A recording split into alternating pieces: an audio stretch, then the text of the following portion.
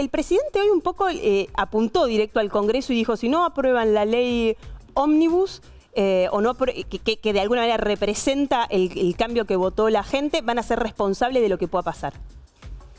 Es que a mí me parece que eh, se vive en algunos, algunos espacios una irrealidad total y creo que me, parece que, la política los ha llevado a estar sin los pies en la tierra, viste, con este tema de ir en sus Audis con escoltas y choferes y entrar a, edificios con cúpulas grecorromanas y con las rejas estas monumentales que tienen los edificios públicos que son mantenidos por la gente y que los distancian de la realidad.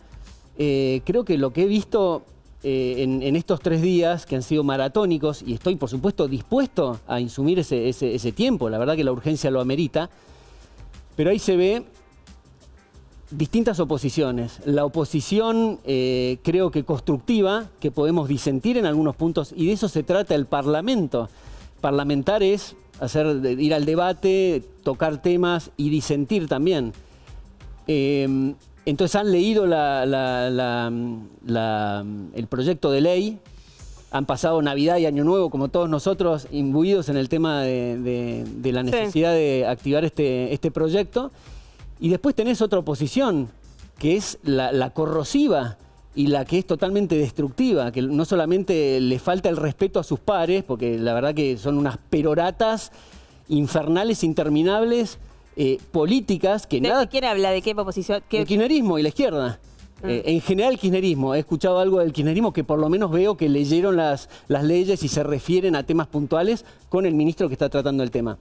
Con lo cual tampoco lo generalizaría pero un punto denominador común del, kirchnerismo en general y el tradicional con la izquierda es esas, eh, como digo, esas clichés y peroratas interminables pero más allá De, más allá de eso, digo, el, el plan de mi ley, por lo menos para esta primera etapa, ¿depende de que se apruebe esta ley o no?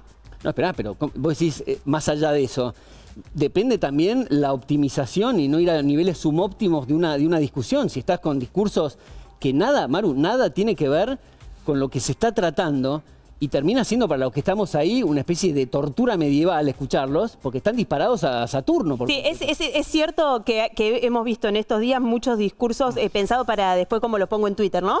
Eh, para las redes sociales, utilizando la comisión es un, escenario. Un detalle te doy en torno a esto. Ayer, eh, en esa sala que está repleta, porque claro, son tres comisiones en una, lo que tuvieron que hacer de la Cámara de Diputados es limitar el acceso de los asesores. Asesores, básicamente community managers, fotógrafos, el que graba el video, lo tuvieron que limitar a un asesor por diputado y solo de aquellos diputados que integran cada una de estas comisiones, porque claro, cualquier diputado puede participar con su pregunta, con su intervención, solamente eh, emitirán el dictamen a aquellos que integran las comisiones. Bueno, lo que hicieron es basta de asesores, basta de veditos. Un dato, un dato cuatro asesores por diputado eh, tiene, corríjame Venegas Lin si no es real, ¿no? Pero por diputado son cuatro asesores, alguno más que te pueda dar el bloque. Son contratos de locación de 110 mil pesos hoy en el Congreso Nacional.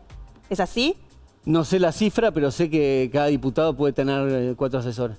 Por eso, según la información de son 110 mil, o sea, eh, si lo vas a ocupar con community, digo, los asesores son importantes porque son los que le permiten a los legisladores el estudio de la ley, aportarle más información, los análisis, la propuesta eh, legal, digo, con, lo cual, si te lo vas a gastar en community, me parece que vamos flojo, perdón. No, no, no, me refiero al tema de los... mi aporte, digamos, que puedo hacer, dado que este, estoy viviendo en este, en este tiempo de este sueldo, es no tener asesores. Me preguntan a mí, ¿cuál es tu jefe de despacho? ¿Quién es? No tengo ni idea, soy yo. Manda escribirme al celular. ¿No tiene ningún asesor? No, no tengo asesores. Digo, no quiero este, hacer críticas a los que sí lo tienen, pues tener ¿Cómo hace para...? Porque la ley... Por ahora voy bien, o sea... Pero la ley es... Hoy Saracho dijo que... No, ayer dijo que no había llegado a leerla toda. Son más de 600 artículos. digo, usted es economista, pero habrá... No sé, tiene aspectos que modifican el Código Civil, el Código Penal. ¿Cómo hace para interiorizarse sobre eso y saber si está bien, si está mal, si está de acuerdo o no? Bueno, esta revolución liberal también trajo mucha gente que quiere contribuir, de la misma forma que contribuyó eh, en todas las leyes estas, los especialistas en distintas áreas de defensa, seguridad, energía, vienen trabajando antes de ser gobierno para después de pocos días presentar todo esto. Entonces, esa misma gente, hay también amigos míos, gente y de nivel, en plano de abogados, abogados penalistas, civil, constitucionalistas de primera línea, que me puedo referir ad honorem a ellos y, juntarme particularmente con lo que necesiten. Después tenés los que fui conociendo, Asociación Argentina del Contribuyente, la Fundación Lógica, barbechando en el tema de campo, es toda gente privada que se nutre de fondos privados, eh, tiene todo un equipo multidisciplinario que está esperando tener conexión con el- el Congreso para que los escuchen. Esos son nuestros asesores.